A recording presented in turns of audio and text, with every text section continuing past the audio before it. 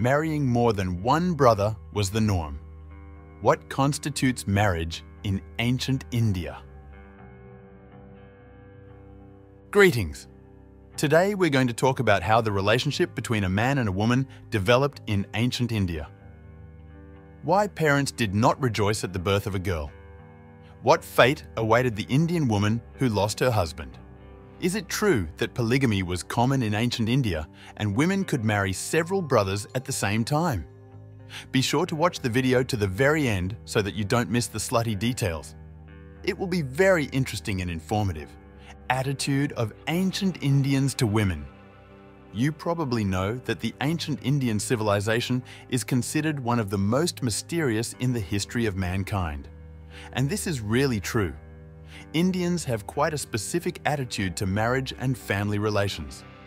But the most striking is the idea of the inhabitants of India about the female part of the population.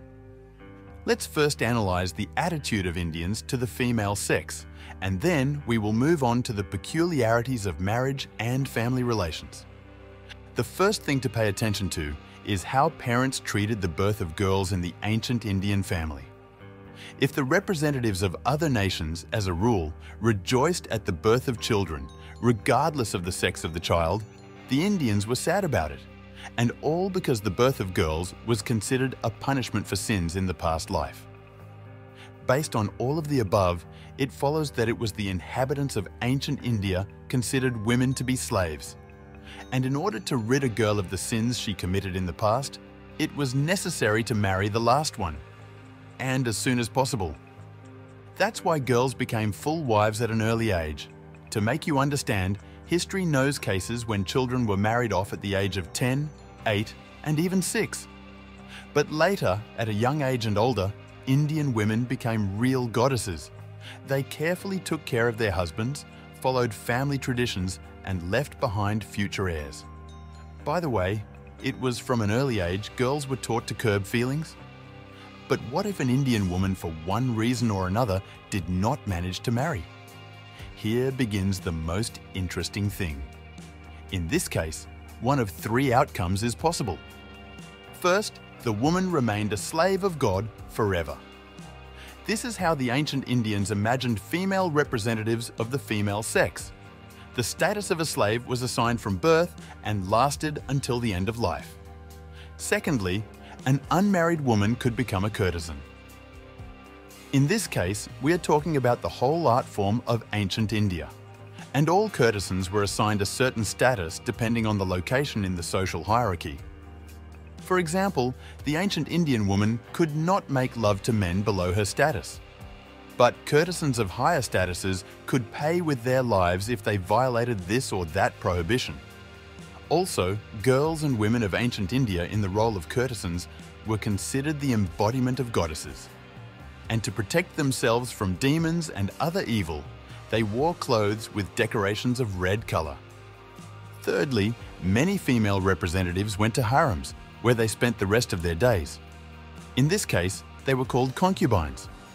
In addition to India, harems were spread in other Eastern countries. It is interesting to note that the number of concubines in one of the Indian harems was about 16,000.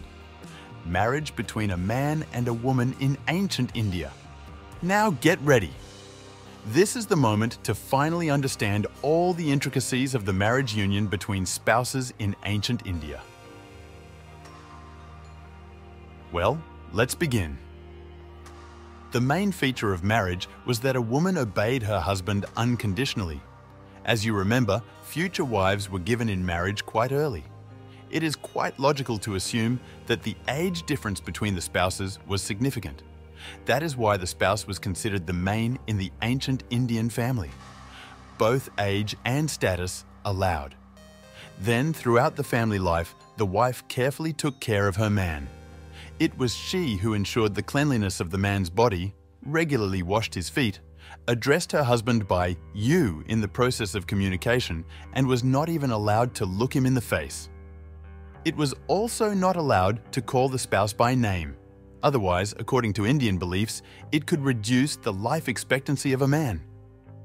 During a meal, In accordance with ancient Indian traditions, it was allowed to eat only after the husband. And when the spouses went outside, the woman did not walk next to the man as it may seem at first glance.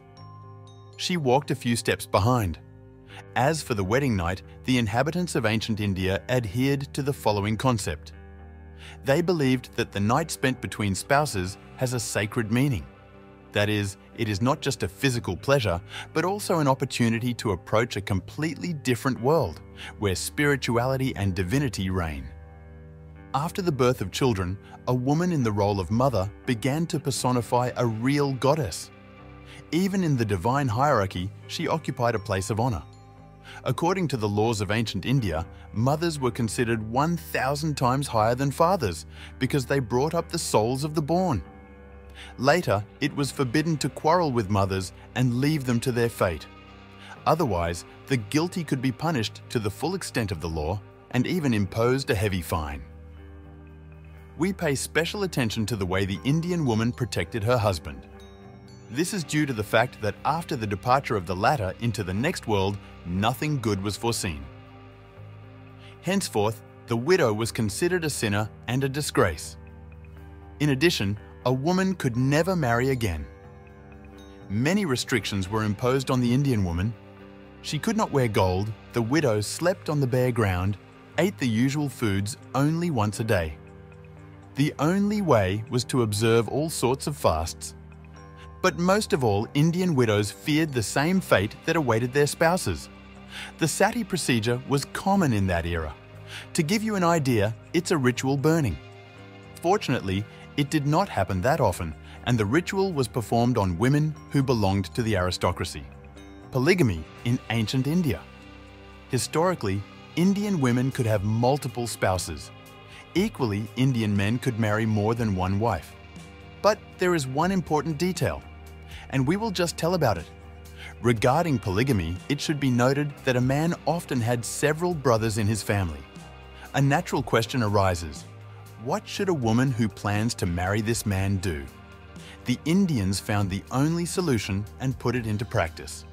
In this case, the woman would marry all her brothers, which, by the way, became her full-fledged spouses. And the children born from this or that man were considered common for all spouses, but already in the role of fathers. Men could also have several wives, Polygamy in ancient India was due to the unlimited rights and freedoms of the male population of the country. This was especially the case in Indian harems, when the Sultan had several wives on an official level. Eventually, the ancient Indian inhabitants put into practice up to eight varieties of marriage unions. Each of them is unique in its own way. Nevertheless, the goal of each of them is to create harmonious relations in the family, to follow traditions and to fully educate future heirs.